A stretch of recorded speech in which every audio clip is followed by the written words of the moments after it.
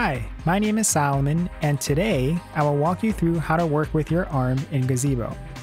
There are two types of ways you can do this. In the first part of the video, we're going to show how to work with the Interbotix XS Arm Gazebo ROS package directly. In this case, Gazebo outputs some ROS topics, and you would write a node that would interface with those ROS topics directly. In the second approach, we're going to show how to use MoveIt with Gazebo and explain a little bit about how Gazebo is configured for that to work. So open up a terminal, press Ctrl Alt T on your keyboard to do that, and then type ROS launch Interbotix XS Arm Gazebo. You can tab a couple times, XS Arm Gazebo.launch robot model. We're going to use the Widow X200. DOF, that's the degrees of freedom, is 5. By default, it's, it's actually 5, so we don't actually have to set it for this case, but um, we might want to get in the habit of doing that because if you are launching a 4 degree of freedom arm or a 6 degree of freedom arm, you have to set that parameter. And then use position controllers is equal to true. So there's two options you can put for this. There's use position controllers and then there's use trajectory controllers. For the position controllers, what that does is it creates a ROS control interface to control uh, each joint independently. Like if a joint is at zero degrees and you want to go to the 1.5 radians, you just command to a certain topic to go 1.5 radians and it'll go there. Um, so that's the way you would write, if you were interfacing with Gazebo directly, you would write a uh, node that would just publish to those different topics. But when you're working with MoveIt, we, we set use trajectory controllers to true because the way MoveIt interfaces with Gazebo is it sends a joint trajectory message which is a list of positions and could be velocities and accelerations that all the joints should be, of where all the joints should be at given moments in time. So that's the second approach, but we're just going to show this one for now. Use just press enter after writing that. Okay. Now press Control Shift T in your terminal and type ROS service call gazebo unpause physics, press enter. Very important to do that. That's going to unpause the physics engine. So now what I'm going to do is I'm going to use a mouse created by 3Dconnexion. It looks like this. I think it's called Space Nav. And it allows you to um, um, move your arm in Gazebo, move the viewpoint in Gazebo to something that's a little bit better. Okay, something like that looks good. Definitely recommend it. Not a sponsor. So now that we did that, let's type ROS topic list. Let's uh, bring that up. So you'll see a few topics that say like Widow X200 elbow controller command or Widow X200 left finger controller command, um, wrist angle controller command, and wrist rotate controller command. These are the topics you want to publish to for uh, positions, to command the different positions for each of these joints. So let's just do that very quickly. So let's say I wanted to change the wrist angle position to be negative one radians. I can do ROS topic pub dash one widow x200 um, wrist angle controller command tab tab and then we can do negative 1 and press enter. And we see that it moves to negative 1. Now let's move the elbow joint to 1 radians just to show how that looks. So ROS topic. Well, you can actually press the up arrow key and type and replace wrist angle with elbow. It's one way of doing it. And then change the command to be 1. Then press enter. And finally, let's just rotate the waist because why not? We'll, we'll do that to 0 0.7. Um, and change elbow here to be waist.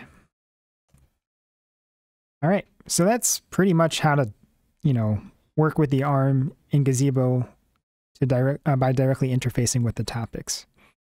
Um, in this case, also, if you wanted to um, you wanted to close the gripper, you would actually have to publish to the left and right finger controller topics with the same but opposite commands. So like the left finger you would command to be I think I think it's between 0 0.015 and 0 0.037 for the left finger and then you would do negative from zero, negative 0.015 to negative 0.037 uh, for the right finger. So we can show that here. Let's just make this arm swing to face us so we can see the fingers a bit better. Um, so ROS topic pub dash one, left finger controller, and we can do 0 0.037 should be fully open. And we can do the same thing for the right finger controller. And we'll change that to be negative 0.037. So you would want to write those commands though at the same exact time, of course, in your custom node. Now, if you wanted to close it, we can do 0.015 for the, oops, um, for the left finger and 0 and negative 0.015 for the right finger. Um, so there is a way in, in uh, a URDF to make a joint mimic another joint. There's actually a mimic tag you can use.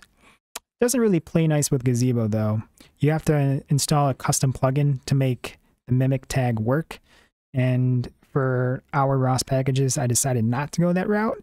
So uh, that's why you you would have to control both the left and right finger controllers directly. Okay, so that's it pretty much for uh, controlling an arm in Gazebo directly. So let's control C out of that. Might take a few uh, seconds for, for Gazebo to shut itself down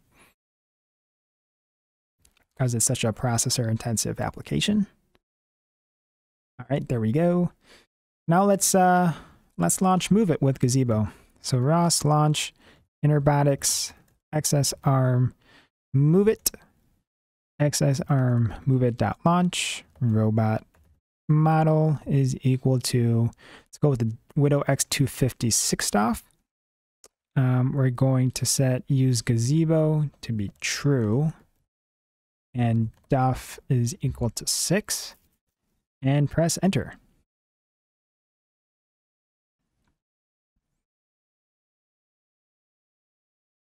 Okay. RViz might hang until you unpause the physics engine in Gazebo. So you just do that, ROS service call Gazebo, unpause physics, press enter. And here is RViz with our MoveIt plugin for motion planning. Let's minimize that, put this on the left side of our screen, put this on our right, right side of the screen. And we're going to zoom in here. I'm using the Space Nav mouse again. We're just going to orient the arm so it looks the same way it does in MoveIt. Okay.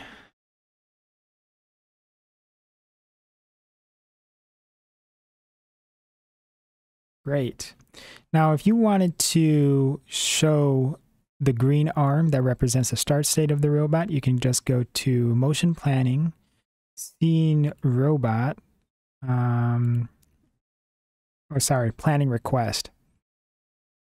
And you can you can check the query, uh, query start state. So that'll give you the green robot. Um, and then if you wanted to um, show the orange robot that represents the goal state, you can just check that. So I'm just going to have the goal state one checked. Because sometimes if you click both of them, you might end up dragging the, the wrong one. So let's just move um, the arm to be a little bit to the left and go down. Looks pretty good. And let's uh, plan that motion. Looks like it was good and execute it.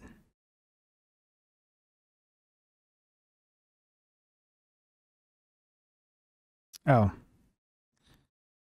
So first what you have to do is that there was an error message saying that the current state is not equal to the start state. So let's just update the start state to be current. Click plan and then click execute. All right, there we go. Now it's not complaining. Um, we can also do random poses. So we can change goal state to be random valid.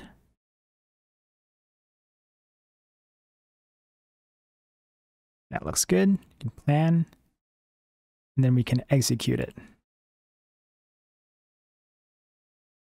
And we have that message again. So something you want to do before um, executing or before planning really is just to update the start state to be current.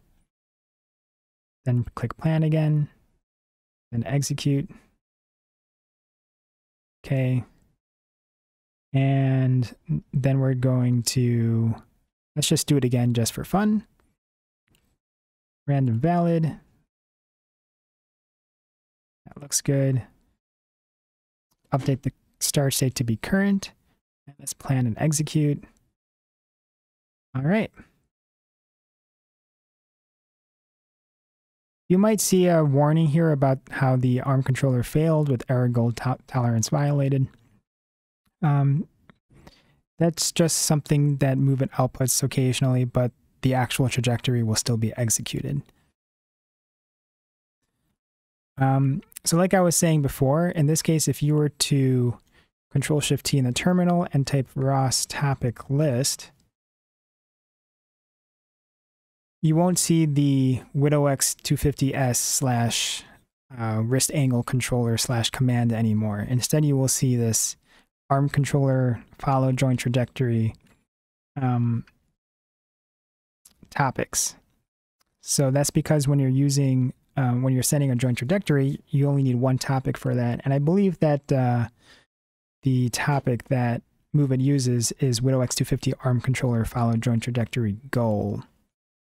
So if you were to actually, um, let's open up a terminal, press Control Alt T, and let's type ROS topic echo WidowX250S ARM controller.